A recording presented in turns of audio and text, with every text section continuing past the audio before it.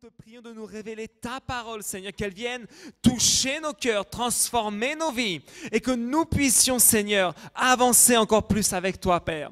Je te prie que toute distraction, Seigneur, soit laissée au pied de la croix ce matin et que nous profitions de ce temps de culte. Dans le nom précieux de Jésus-Christ, nous avons prié. Amen et Amen. Alors, pendant ces dernières semaines, nous étions à Bogota avec Pasteur Carolina, qui est encore là-bas d'ailleurs. Et vous avez les salutations des pasteurs Barrios qui vont venir fin mars nous rendre visite. Amen. On n'a pas le jour encore précis, mais on sait qu'ils viendront fin mars. Et on va vivre de grands moments. Est-ce que tu crois que cette année va être une grande année? Mais il faut que cette année soit une grande année dans tous les domaines de notre vie. Et ce matin, le message qu'on va partager ensemble s'intitule Récupérer ce qui est perdu. Récupérer ce qui est perdu. Et on va se rendre compte que parfois on a perdu beaucoup de choses, mais on les a laissées de côté, on les a oubliées, ou parfois même on ne se rend même pas compte qu'on les a perdues. Et ce matin, on va ouvrir notre Bible dans le deuxième livre des rois, au chapitre 6, du verset 1 au verset 7. Deux rois, chapitre 6, du verset 1 à 7, où il est dit, les membres de la communauté des prophètes dirent à Élisée, l'endroit où nous nous tenons assis devant toi est trop petit pour nous. Allons jusqu'au Jourdain. Nous y prendrons chacun une poutre et nous nous y ferons un lieu de réunion. Élisée répondit, allez-y. L'un d'eux dit, accepte de venir avec tes serviteurs. Il répondit, je vais venir. Il partit donc avec eux. Arrivé au Jourdain, ils coupèrent du bois. Alors que l'un d'eux abattait une poutre, le fer de sa hache tomba dans l'eau. Il s'écria, Ah mon Seigneur, je l'avais emprunté. L'homme de Dieu demanda, Où est-il tombé? Il lui montra l'endroit. Alors Élisée coupa un morceau de bois, le jeta à la même place et fit ainsi surnager le fer. Puis il dit, prends-le. Il tendit la, main et le prit. Amen. Alors je vais m'arrêter sur ce verset-là. Et ce matin, on va voir que dans ce verset, il y a beaucoup de choses à apprendre. Et on se rend compte déjà que dès le départ, on nous parle des membres de la communauté des prophètes. Une autre version parle des fils des prophètes. Et on voit qu'en fait, Élisée était celui qui enseignait, c'était une école de prophètes, c'était un lieu de réunion, c'était un lieu où Élisée enseignait vraiment à être connecté à l'Esprit de Dieu pour pouvoir annoncer ce que Dieu voulait annoncer. Et regardez que ce qui est intéressant dans cette partie-là, c'est qu'un d'entre eux se rend compte que le lieu est trop petit se rend compte que à ce moment-là, il y avait une période de croissance, les gens se multipliaient, les gens venaient, et donc il s'est dit, là, il y a quelque chose qu'il faut faire. Il y a quelque chose, on ne peut pas rester dans l'état où nous sommes, on doit passer à un autre niveau. On doit passer à un autre niveau. Et dans notre vie, on doit apprendre à passer à un autre niveau. Amen? Tu sais, c'est important que ce matin, tu te dises, je veux passer à un autre niveau avec le Seigneur. Je veux grandir avec Dieu. Je veux me multiplier. Je veux pouvoir atteindre un nouveau niveau. Je veux que ma foi augmente. Je veux que ma prière augmente. Je veux que ma famille augmente aussi. Amen. Regardez que c'est le temps vraiment de vivre la bénédiction. Vous voyez, ce matin, si tu es venu dans ce lieu, ce n'est pas un hasard. Dieu a prévu un rendez-vous bien spécial. Oui, il y a des personnes qui ont chopé la grippe, c'était terrible. Ok, mais toi, tu es là ce matin et Dieu a prévu de te parler à toi spécifiquement. Dieu a un message pour toi. Et regardez que donc ces, membres de la communauté des prophètes, ils se disent waouh, on est dans un endroit qui est trop petit, on a besoin d'augmenter le lieu. Et qu'est-ce qu'ils font? Ils se préparent à se mettre au travail. Amen. Est-ce que tu peux dire à ton voisin ce matin, est-ce que tu es prêt à te mettre au travail? Eh ouais, c'est du sérieux. Parce que regardez que parfois, qu'est-ce qui se passe? On, veut grandir, on veut voir la bénédiction, on veut voir les, merveilles de Dieu, mais on ne fait rien. Soyons honnêtes, le lieu où ils étaient, il était trop petit, la Bible nous dit. Donc ils sont allés voir Élisée, ils ont dit, il faut qu'on fasse quelque chose là. Mais ils ne sont pas restés à dire, ah mince, le lieu est trop petit, quel dommage. On aimerait tellement avoir quelque chose de mieux. Et là, tout le monde les mains dans les poches. Non. Il y a un moment donné, ils ont dû se mettre au travail pour que Dieu puisse accomplir son plan. Est-ce que tu es conscient ce matin que tu es l'instrument entre les mains de Dieu? Tu es un instrument entre les mains de Dieu. Et je vais te dire, Dieu, pour cette année, il veut te conduire à un autre niveau, mais tu dois te laisser guider comme un instrument. Il doit pouvoir, avec toi, travailler. Tu ne peux pas être déconnecté de la présence de Dieu. Tu ne peux pas prétendre être un chrétien, aimer Dieu et vivre déconnecté de tout. Vous savez, beaucoup de fois on dit effectivement, ah mais moi j'aime vivre ma foi à la maison. Qui a déjà dit ça? Soyons honnêtes. On a, tous dit un truc, on a tous dit un truc un jour comme ça. Non mais moi j'ai la foi, je la vis à la maison. C'est bien de vivre sa foi à la maison, mais tu dois aussi la vivre de partout, ta foi. Tu ne peux pas la déposer à la maison et dire non, mais je la vis qu'à la maison ou euh, je la vis que pour moi-même. La foi, c'est quelque chose qui doit se répandre, c'est quelque chose qui est contagieux et qui doit motiver les autres à avoir la foi également. Amen? Parfois, on peut se dire mais pourquoi l'Église existe? Pourquoi cette école de prophètes existait? Pourquoi Élisée est en train d'enseigner aux gens? Tout simplement parce que c'est le temps de faire grandir le royaume de Dieu. Si je garde les choses pour moi, ce n'est pas correct. Et ça, c'est le premier point que je vais donner d'ailleurs. C'est d'être connecté. Amen? Aujourd'hui, on est connecté à peu près à tout, n'est-ce pas? On est connecté à Facebook, on est connecté à Instagram, on est connecté à WhatsApp, on est connecté à Twitter, on est connecté à plein de machins. On est connecté avec la télévision, on est connecté avec les jeux vidéo, on est hyper connecté. Mais ce qui est important de savoir, c'est à quelle source réellement tu veux être connecté aujourd'hui. Est-ce que tu vas être connecté à une bonne source ou être connecté à plein de choses en fait qui ne font que te distraire? Alors je ne dis pas que Facebook c'est pas bien, c'est pas ça que je suis en train de dire. Je dis simplement que c'est important d'être connecté. Et ça, les personnes qui étaient avec Élisée à ce moment-là, ils étaient connectés. Parce que la, la première chose qu'elles font lorsqu'elles remarquent que le lieu est trop petit, elles disent à Élisée, on va devoir se déplacer, on va devoir s'efforcer. Et Élisée, qu'est-ce qu'il répond? Ben allez-y. Faites. Mais ces gens-là ne sont pas restés juste comme ça. Ils ont dit à Élisée, non, tu vas venir avec nous. Pourquoi? Parce qu'on forme qu'une équipe. Amen? Et tu sais quoi? C'est ça qui est merveilleux. Avec Dieu, tu formes qu'une équipe. Vous savez qu'on ne forme qu'un en réalité. L'Église, c'est plusieurs personnes, mais on ne forme qu'un. Et ça, c'est quelque chose d'important à comprendre. Pourquoi? Parce que ça va t'éviter de porter des jugements, ça va t'éviter de critiquer celui qui est à côté de toi ou celle qui est à côté de toi. Ça va t'éviter de, t'imaginer un tas de choses. Non, parce que si nous sommes un, ça veut dire qu'on doit travailler tous ensemble. Il n'y a pas de différence. Rassure-moi, tu ne critiques pas ta main, tu critiques pas. Enfin, si peut-être certains se critiquent leur main, ils se disent ah, elle n'est pas belle cette main-là, je préfère celle-ci. Non, je préfère ça. Ok. Peut-être tu es comme ça, mais on ne peut pas se critiquer soi-même. C'est pas possible. Et dans l'Église, on doit être un. Amen? Et peut-être ce que tu as perdu récemment, peut-être ce qu'on a pu perdre, c'est le fait de se dire qu'on est tous ensemble, qu'on doit s'aimer les uns les autres. Est-ce que tu es au courant de ça, qu'on doit s'aimer les uns les autres? Donc tu ne peux pas dire que ton frère ou ta soeur est insupportable. tu ne peux pas le dire. Parce que si on doit s'aimer les uns et les autres, si on doit travailler ensemble, on ne peut pas se trouver insupportable, on ne peut pas se détester, ce n'est pas possible. Pourtant, le monde enseigne ça. Si quelqu'un, tu ne l'aimes pas, ne lui parle pas, ne lui adresse pas la parole, laisse-le tomber, laisse-le souffrir, laisse-le... Simplement non, hein. la parole de Dieu enseigne tout le contraire. La parole de Dieu dit en plus, si c'est ton ennemi, bénis-le.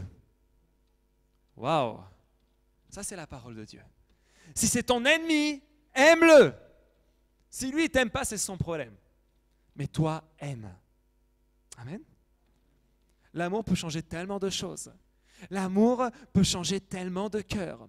Regardez que lorsqu'on est connecté avec la présence de Dieu, lorsqu'on est connecté avec l'amour de Dieu, je peux vous dire une chose, lorsque tu as rencontré l'amour de Dieu dans ta vie, tu vas commencer à vouloir le répandre aux autres. Même si certains ne t'aiment pas, peu importe. Tu vas commencer à aimer de manière différente. Parce que l'amour de Dieu, c'est quelque chose de parfait. L'amour de Dieu ne fait pas de différence. L'amour de Dieu ne fait pas de racisme. Amen? Eh oui.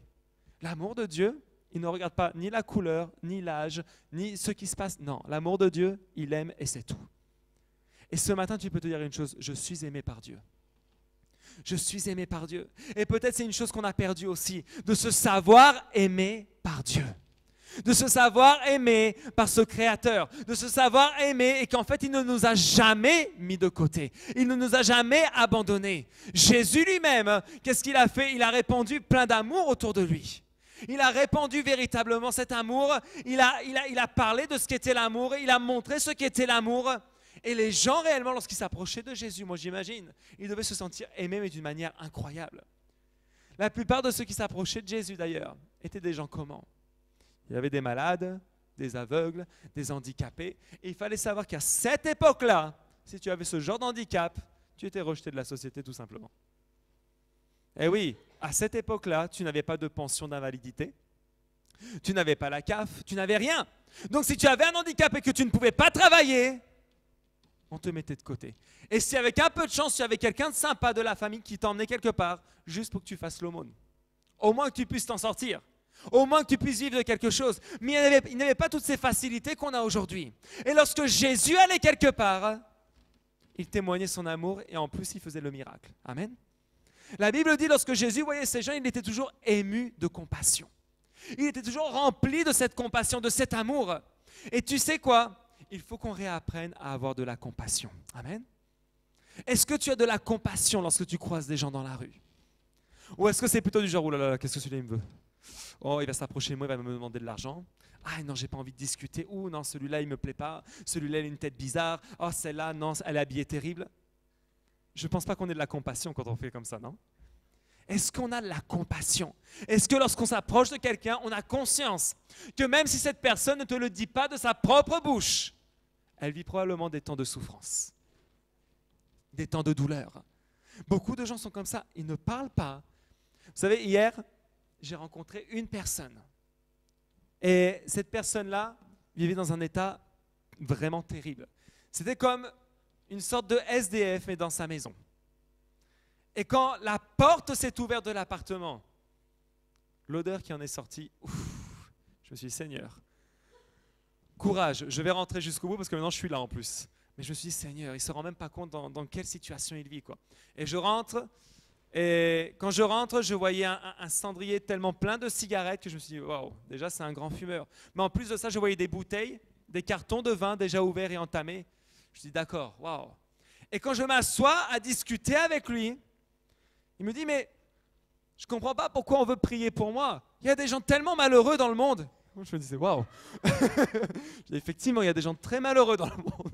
Je disais, mais moi, ça va Et je, je, de rien démontrer, mais dans ma tête, je me disais, mais il se rend même pas compte de l'état qu'il traverse. Il se rend pas compte. L'ennemi a tellement aveuglé sa vie qu'il ne voit même pas qu'il ne va pas. Et puis après, on continue à discuter, il me pose des questions, tout ça. Et dans la conversation, il me dit, honnêtement, je ne me sens pas pécheur. Alors là, bon, j'ai eu un petit sourire quand même. J'ai dit, ah, bon. Je dis, mais vous savez quoi Tout le monde a péché. Il n'y a personne de parfait de toute façon. Et le péché, ce n'est pas que mentir, ce n'est pas que tuer, ce n'est pas que voler. Le péché, c'est bien plus profond que tout ça. Le péché, ça va plus loin. Il me dit, oui, mais bon, moi, je ne me sens pas en tout cas un pécheur. Hein. Je dis, d'accord. Bon, après, on a continué la, discussion. Bon, ça s'est bien terminé par la grâce de Dieu. Mais parfois, lorsque les gens sont tellement déconnectés de ce que Dieu veut, ils ne se rendent même pas compte. Ils ne se rendent pas compte de ce qu'ils sont en train de perdre. Et à la fin, il m'a dit une chose, il m'a dit, je lui ai dit, vous savez, Dieu veut restaurer votre vie. Et après, il me dit, vous savez, moi, je ne veux pas être restauré, je veux juste savoir que Dieu m'aime. Je dis, non, là, c'est une grosse erreur. Ça, c'est une grosse erreur. Tu veux juste que Dieu t'aime. Dieu t'aime, ça c'est sûr, il faut que tu en sois convaincu. Là, je lui ai dit, non, Dieu t'aime parce qu'il a donné Jésus pour toi, il a donné Jésus pour moi, et il est mort sur une croix pour tous les péchés de tout le monde. Il nous aime. Mais Dieu ne veut pas juste t'aimer. Dieu veut te restaurer. Alors, il faut que tu apprennes à profiter de ce que Dieu veut pour ta vie. Et là, je lui ai expliqué qu'il fallait qu'il se reconnecte avec Dieu.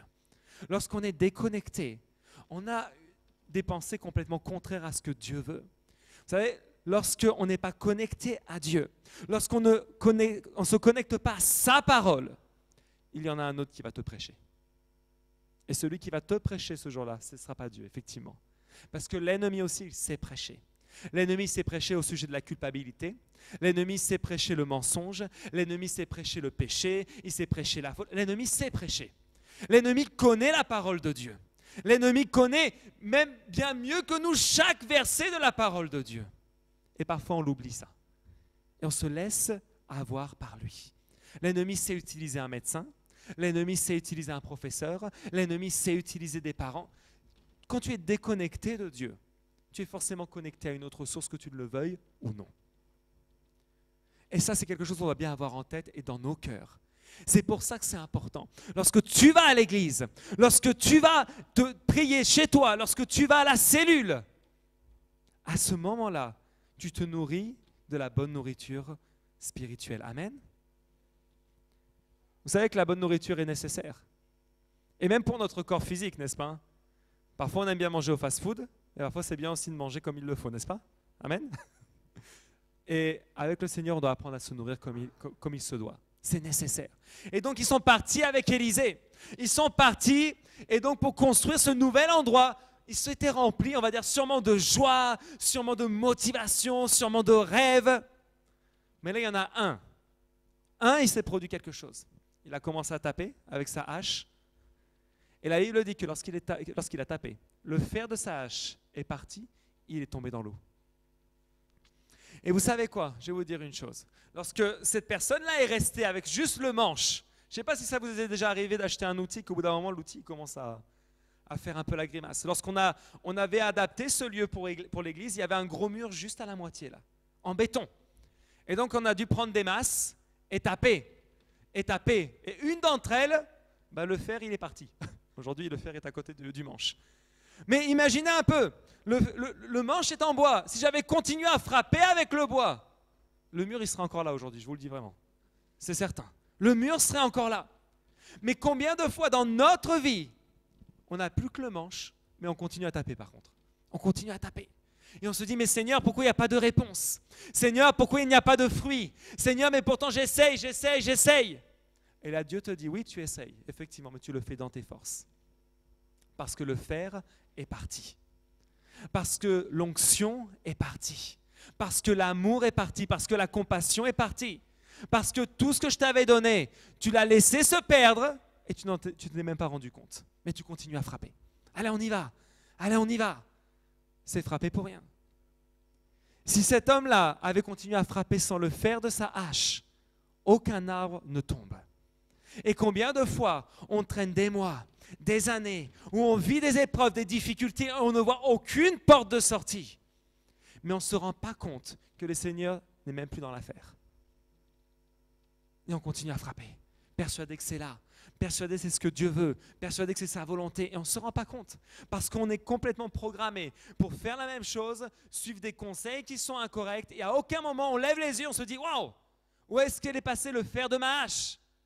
Qu'est-ce qui se passe? Et je pense que c'est le temps de se poser les bonnes questions. Est-ce que dans ma vie, j'ai vraiment le même amour pour Dieu que j'avais avant? Ou est-ce que je l'ai perdu? Est-ce que je suis devenu simplement, non pas un disciple, non pas un leader pour le royaume de Dieu, mais juste un suiveur qui ne sait même pas où il va Parce qu'il suit dès qu'il y a le moindre truc, ah je vais suivre là-bas, ah là ça a l'air d'être mieux, ah là ça a l'air d'être plus simple. Parfois, on est comme ça. Ah, mais là-bas, on me laisse tranquille au moins. Je vais juste recevoir. Est-ce que tu as conscience que tu as un appel devant Dieu? Est-ce que tu sais que tu, as un appel hein? Dieu, il t'appelle. Dieu, il a un plan pour toi. Et il compte bien l'accomplir, ce plan. Il veut l'accomplir. Et peut-être que tu as laissé aussi tomber ce, fer-là. Et tu ne te rends pas compte. Et à chaque fois, tu dis, ah, mais j'aime bien parce que dimanche, on me dit que Dieu a un appel. La semaine passe et l'appel, tu as raccroché depuis longtemps. Parfois, on est comme ça et on ne se rend pas compte. On se dit être un bon chrétien, on se dit être un bon disciple de Jésus. Mais en fait, on ne se rend pas compte qu'on est complètement à côté de la plaque. Ça arrive, hein Et on ne s'est même pas rendu compte que là, le Seigneur nous dit, il est en train de nous appeler, il dit, attention, tu t'éloignes là, tu t'égares. Je ne suis pas là, reviens. Et je pense que c'est le temps que si on veut voir cette année être complètement différente, il faut savoir analyser son cœur et dire, Seigneur, je crois que j'ai perdu quelque chose. J'ai peut-être perdu la compassion aussi. Avec, je me souviens que lorsque j'ai donné mon cœur au Seigneur véritablement, lorsque je lui dis non Seigneur, là je veux marcher avec toi, aïe, je voulais évangéliser la terre entière. Littéralement. chaque personne qui me parlait devait passer par la Bible. chaque personne. Mais vous savez ce qui s'est passé? Le temps a commencé à, passer, le temps a commencé à s'écouler. Et puis après, c'était plutôt au feeling. Ah, si lui il me parle, pourquoi pas? Ah, bah si, ouais, peut-être bien, oui, je, je, en toucherai un mot. Et puis après, le temps passe, passe. Et finalement, moi, je vais lui envoyer un texto pour l'inviter à l'église. Allez. Il n'y a même plus ce contact. Parce que la compassion est partie, l'amour pour Dieu est parti, la prière est partie, tout ça s'en va. Et on se retrouve et on se dit des années après, mais qu'est-ce qui s'est passé pendant tout ce temps? J'ai perdu le fer de ma hache. C'est quelque chose qu'il faut savoir se remettre en question et dire non Seigneur, là j'ai perdu un truc. Il faut le retrouver maintenant. Il faut le retrouver. Et vous savez, lorsque Élisée était là et qu'il a coupé ce bois et qu'il l'a jeté dans l'eau, ce bois représente quoi? La croix. Et le seul moyen de retrouver ce qu'on perd, c'est de repasser par la croix. Amen. Alors, je n'ai pas donné le deuxième point, pardon. C'était qu'est-ce que tu as perdu? J'ai tracé un peu tout qu'est-ce que tu as perdu? Mais c'est important de savoir, Seigneur, qu'est-ce que j'ai perdu? Est-ce que en ce moment je vis dans le feu, que j'ai cette passion pour toi, Seigneur? Ou est-ce que j'avais la passion, j'avais l'amour, j'avais la compassion, mais waouh Tout ça, c'est resté en arrière. Avant, je me levais tôt pour prier. Maintenant, je me lève plus que cinq minutes avant. Avant, euh, j'arrivais à l'église, j'étais motivé, j'avais envie de faire, j'avais envie d'être à la cellule et le temps est passé, j'en ai plus très envie. Je vais vous dire une chose. La chair ne va jamais te dire Hé, c'est l'heure de la cellule.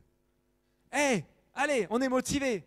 La chair va jamais dire ça. Hein. La chair, c'est plutôt Je sors d'une journée de travail, il faut comprendre que je suis fatigué, il faut comprendre que j'ai plein de choses à faire. C'est normal ça. On a tous plein de choses à faire. Ah, j'ai une famille à m'occuper. Merci Seigneur que tu as une famille à t'occuper. Est-ce que tu es heureux avec ta famille? Qui est heureux avec sa famille? C'est une bénédiction la famille. Ouais, moi je trouve que c'est génial. Quand tu as une famille, quand tu as des enfants, c'est une grande bénédiction. Ça veut dire que Dieu t'a fait porter du fruit et que Dieu te voit capable de faire quelque chose avec ta famille. C'est extraordinaire. Avoir une famille, c'est quelque chose d'incroyable. Que Dieu te donne la personne correcte pour tes sentiments, c'est quelque chose d'incroyable. C'est une grande bénédiction. Il y en a qui n'ont pas tout ça. Hein. Il y en a qui rêvent d'avoir ce qu'on a. Et parfois, on perd cette flamme-là. Et on laisse de côté. Et on laisse le temps passer. Tu sais quoi? La vie, en réalité, elle est courte. La vie est courte. Est-ce que tu es au courant de ça? La vie, elle a une fin. Hein et moi, je me dis toujours quelque chose, Seigneur, je veux profiter de toutes les bénédictions que tu as me données pendant que je suis jeune. Hein. Parce que c'est pas à 95 ans que. ah, la prospérité, ouais, super, ça ne plus rien. non, Dieu veut que tu profites de chaque chose. Ah, la grande église au bout de 50 ans de ministère. Non, c'est maintenant que c'est génial. C'est maintenant qu'il faut profiter des choses. Maintenant, tu as la force et l'énergie. Tu peux dire Non, Seigneur, je veux faire des choses pour toi. Seigneur, tu m'as béni. Regardez que j'ai parlé avec une autre personne cette semaine et elle me disait une chose. Elle me dit Quand j'ai réalisé ce que Jésus a fait pour moi, je me suis dit, je ne peux pas rester les bras croisés. Il m'a dit clairement, je ne peux pas rester les bras croisés. Quand j'ai vraiment compris le sacrifice de la croix, je me suis dit, je ne peux pas laisser Jésus comme ça de côté. Pourtant, c'est quelqu'un qui a une famille, qui a des enfants, qui a son travail, qui a, sa maison, qui a ses charges, qui a tout. Mais il a dit non, je ne peux plus rester comme ça. Parce que trop longtemps, je suis resté tranquille. Ah, je suis sauvé. Mais j'ai compris que non, que j'ai un appel. Et que Jésus a donné sa vie pour moi, donc je dois bouger pour le Seigneur. Amen. Et tu sais, bouger pour le Seigneur, ça apporte les meilleures bénédictions. Parce que que tu ne le veuilles ou non, Dieu est généreux avec chacun d'entre nous. Est-ce que tu es au courant de ça? Tu sais, parfois tu peux passer par une épreuve que tu ne comprends pas. Il y a des épreuves, parfois on se dit Seigneur, mais pourquoi moi? Pourquoi ça tombe sur moi? Qu'est-ce qui se passe? Qu'est-ce que j'ai fait de si mal? Hein, On a tous fait cette prière, mais Seigneur, pourquoi sur moi? Qu'est-ce que j'ai fait de mal? Qu'est-ce que j'ai fait de si terrible? Moi, j'imagine ce petit gars avec sa hache. Il a dit non, en plus j'ai emprunté la hache, c'est pour l'œuvre du Seigneur, et pim Le fer s'en va. imaginez ça. Quand on te prête quelque chose, ça veut dire que tu es responsable. N'est-ce pas? Quand on t'a prêté quelque chose, tu es responsable. Et tu sais ce que Dieu nous a prêté? Il nous a prêté tout ça. L'Église, les disciples, il nous a prêté son onction, il nous a prêté son souffle de vie, il nous a prêté nos enfants, il nous a tout prêté en vérité. Nous sommes responsables. Amen. Waouh Mais c'est la meilleure des responsabilités. Crois-le. Donc il ne faut pas la laisser se perdre. Et moi, je me mets à la place de celui-là, quand il a vu le fer de la hache partir, il a dû dire Waouh, catastrophe. Et peut-être même dans son cœur, il s'est dit Mais pourquoi moi? Tout le monde, là, tape comme il faut, ça se passe bien. Comme par hasard, c'est moi. Et ça se trouve, c'est le même qui a eu l'idée. Il a dit Mais en plus, c'était mon idée. Il a dû se dire Mais c'est quoi ce délire? Pourquoi ça tombe sur moi? Pourquoi l'épreuve? Pourquoi cette difficulté alors que je sers Dieu? Premièrement, parce que je me dis, Dieu là voulait faire quelque chose. Et vous vous rendez compte, ce petit personnage-là, il a été marqué dans l'histoire. Dans la Bible, peut-être pas son nom, mais au moins il est identifié. Et parfois on se dit, mais pourquoi moi? Mais voilà qu'il n'est pas resté les bras ballants à pleurer sur son sort. Il a dit non. Il est allé voir le pasteur, il a dit là, on est mal. là, je suis mal, j'ai besoin d'aide. Et il lui a ouvert son cœur et le miracle ensuite s'est produit. Tu sais, peu importe l'épreuve que tu passes, ne pleure pas sur ton sort, mais relève-toi. Parce que Dieu est avec toi. Amen. Est-ce que tu peux dire à ton voisin ce matin, Dieu est avec toi? Dieu est avec toi. Et tu sais, lorsqu'on vit le temps de l'épreuve, c'est là où ça devient intéressant. Parce que Dieu permet que l'épreuve se fasse, pour voir aussi quel est l'état de notre cœur. Est-ce que dans l'épreuve, je baisse les bras et je laisse tout tomber? Ou est-ce que au contraire, je sais que Dieu va me donner une victoire extraordinaire et je serai source de témoignage Amen Source de témoignage. Dieu veut faire de toi une source de témoignage. Tu sais, parfois on traverse même des épreuves dans la santé, dans les pensées, dans plein de choses. Dieu veut faire de toi une source de témoignage alors tu peux aller la tête bien haute et dire, je sais que mon Dieu est en train d'agir. Amen. Je sais que beaucoup, par exemple, sont passés par des épreuves financières aussi. Hmm, les épreuves financières, on déteste ça, n'est-ce pas? Ah, les finances. Mais tu sais quoi? Jésus a versé son sang pour tes finances. Donc si tu traverses l'épreuve financière, tu vas en sortir plus que victorieux. Amen. Mais sois fidèle. Sois fidèle même dans l'épreuve financière. Tu sais, parfois, on peut se sentir mal à l'aise, on peut avoir honte de dire, bon, en ce moment, c'est un peu dur. Ou en ce moment, je traverse une petite épreuve financière ou une grosse. Parfois, on a peur de le dire. Mais tu sais quoi? Ouvre ta bouche devant le Seigneur et tu verras que lui va intervenir. Il va intervenir. Vraiment, il intervient de manière surnaturelle. Il ne va pas te regarder en disant ah, c'est dommage, mais ce mois-ci, tu feras plus rien. Non. Vous savez, lorsque là, on était donc à Bogota et j'ai revu mes anciens leaders même ancien pasteur. Et une d'entre elles prêchait quelque chose qui, qui, m'a fait beaucoup rire, parce qu'elle disait, vous savez, pendant des années, elle prêchait que Dieu pouvait prospérer tes finances. Et elle disait, j'avais un gros trou dans la semelle de ma chaussure pendant que je prêchais ça. C'est oui, je traversais moi-même l'épreuve financière pendant que je motivais les autres à dire Dieu va vous bénir. Et elle savait qu'elle traversait l'épreuve. Et elle se l'auto-prêchait son message. Et aujourd'hui, merci Seigneur, Dieu l'a prospéré. Alléluia. Mais je me souviens aussi de mon ancien leader, où il disait au début, parce qu'il venait des quartiers très pauvres de Bogota, il ne pouvait même pas payer son ticket de bus pour aller à l'église. Alors vous savez ce qu'il faisait? Il prenait ses jambes et puis il marchait. Deux heures pour aller à son culte le dimanche. Aujourd'hui, Dieu l'a prospéré. On peut dire, ah Seigneur, mais pourquoi moi? Est-ce que tu as déjà fait deux heures de marche pour aller à l'église? Quand il fait moins deux dehors Et quand tu sais que le chauffage à l'intérieur va pas être le meilleur. Aïe. Tu sais, il y a deux solutions. Hein. Dans le moment de l'épreuve, tu peux dire non, mais Seigneur, pendant l'hiver, je ne vais pas à l'église parce qu'il n'y a pas trop de chauffage là-bas. Je viens juste l'été. Ou alors tu te dis non, j'ai une responsabilité. Et tu sais quoi, plus il y a de monde, plus on se réchauffe. En plus, c'est génial. c'est un chauffage naturel. Mais c'est une réalité. Il y a deux solutions. Et Dieu est en train d'éprouver ta vie et te dire, je veux voir à quel point tu es fidèle. Tu me demandes la bénédiction, moi je veux tester ta fidélité. Moi je veux voir. Est-ce que tu vas tenir le coup Ou est-ce que tu vas t'apitoyer ou comprendre que j'ai un plan extraordinaire pour toi? Qui dit plan extraordinaire dit aussi être prêt. Amen Il faut être des guerriers dans le royaume de Dieu. Est-ce que tu crois que tu es un guerrier dans le royaume de Dieu?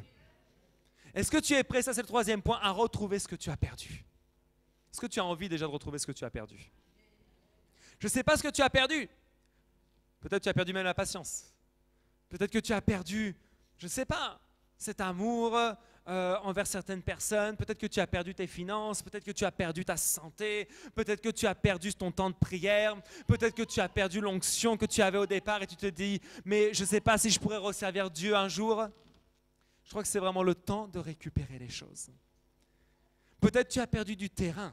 Quand je parle du terrain, c'est dans le sens où l'ennemi a commencé à gratter, à grignoter, à dire non, je commence à prendre cette partie-là, et cette partie-là, et cette partie-là. C'est le temps de récupérer tout ce qu'on a perdu. C'est le temps de repasser par la croix et dire non Seigneur, je veux être un guerrier dans ton royaume. Amen. Je veux que tu me formes et être un soldat de la prière, un soldat de l'intercession et voir enfin le royaume de Dieu s'établir. Moi, ça, c'est un rêve que j'ai, de voir le royaume de Dieu s'établir dans cette ville. Amen. Et pour ça, il faut que les églises se multiplient, il faut que les églises grandissent, il faut qu'il y ait des gens qui aient envie de voir ça aussi. Amen. Parce que ce n'est pas que le pasteur, c'est pas que deux personnes. Il faut une équipe qui dise non, moi je veux voir le royaume de Dieu s'établir. Je veux voir les miracles se produire. Et tu sais quoi? Le même esprit qui avait sur Élisée, le même qui avait sur le roi David, le même qui avait sur Moïse, le même qui avait sur les apôtres, aujourd'hui, il est sur ta vie également. Le même.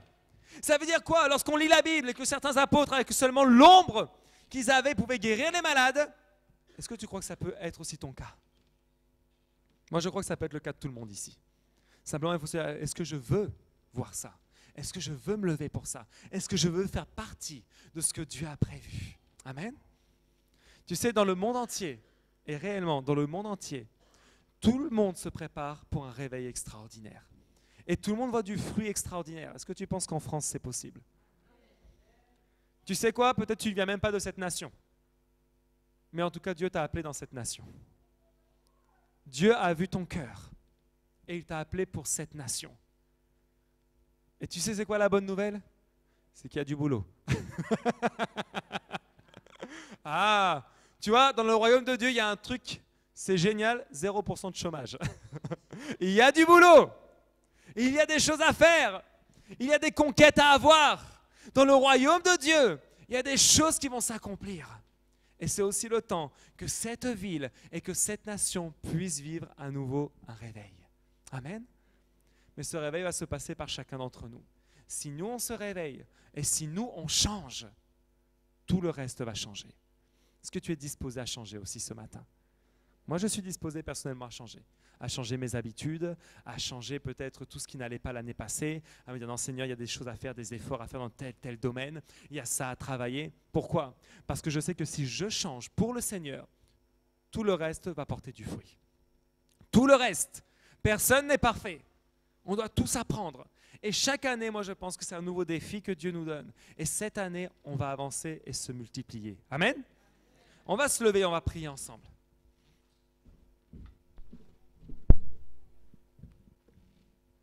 Alléluia. On va prendre ce temps de prière vraiment devant le Seigneur. Et là où tu es, que tu puisses réfléchir un instant et dire Seigneur, qu'est-ce que j'ai perdu? Qu'est-ce que j'ai perdu? Peut-être c'est au niveau personnel, matériel, ministériel, financier, peu importe, je ne sais pas. Mais que ce matin tu puisses te dire qu'est-ce que j'ai perdu? Parce que je veux le récupérer. Peut-être tu avais perdu cette passion pour le Seigneur. Probablement. Peut-être passer un temps, tu voulais prêcher la parole, tu prêchais la parole, mais tu as commencé à te taire parce que il s'est passé diverses choses dans ta vie où tu as peut-être été déçu, ou peut-être tu t'attendais à autre chose dans le ministère et il y a eu une blessure, peu importe. Mais là, tu es devant le Seigneur, devant sa présence, et que tu puisses dire au Seigneur vraiment, voilà ce que j'ai perdu. Je veux te dire ce matin, Seigneur, voilà ce que j'ai perdu. Cet amour, cette compassion, cette envie de prêcher la parole, cette envie d'évangéliser, cette motivation qui faisait que chaque jour, je voulais prier. Peut-être c'est ça que tu as perdu. Mais là, ce matin, devant le Seigneur, confesse-lui et réclame. Alléluia. Oh Seigneur Jésus. Oh, Alléluia. Ne fais pas attention à ton voisin, à ta voisine ce matin, parce que c'est toi et le Seigneur. Et c'est le temps de récupérer. C'est le temps de cesser de faire les choses dans tes propres forces. Parce que lorsqu'on le fait dans nos forces, on se fatigue. lorsqu'on le fait dans nos forces, on s'épuise. On s'épuise. Le Seigneur ne veut pas ça. Ce que le Seigneur veut ce matin, c'est de enfin faire jaillir à nouveau le fer de tâche pour que tu puisses à nouveau couper et avancer et conquérir. C'est le temps. Cette année doit être une année différente. Alléluia. Oh Seigneur Jésus. Oh, ce matin, nous élevons nos voix, Seigneur, devant toi. En tant qu'Église, nous voulons te prier, Seigneur, pour que ta présence vienne impacter nos cœurs, pour que ton onction vienne impacter nos vies. Et là où tu es, commence à élever ta voix, commence à réclamer. Et dis au Seigneur, Seigneur, je veux récupérer ce que j'ai perdu. Seigneur, je veux récupérer cette passion. Seigneur, je veux récupérer l'onction, l'onction que tu avais mise sur ma vie. Cette onction pour gagner les âmes, cette onction pour restaurer les familles, cette onction pour parler de toi, Seigneur. Aujourd'hui, Dieu, viens nous restaurer. Viens nous restaurer, Seigneur.